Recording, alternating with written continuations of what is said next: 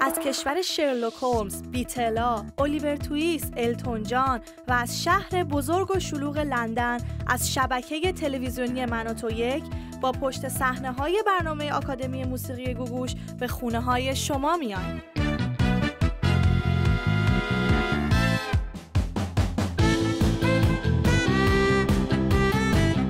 در این برنامه خانم گوگوش به اتفاق همکارانشون هومن خلدبری و بابک سعیدی هشت نفر رو که از قبل انتخاب شدن کمک خواهند کرد که نقاط ضعفشون رو برطرف کنن.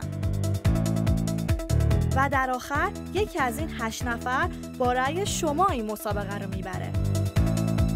تو این مسابقه به غیر از خوندن موسیقی خیلی اتفاقای دیگه هم قرار بیفته.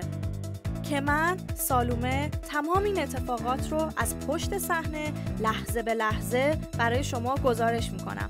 پس می‌بینم.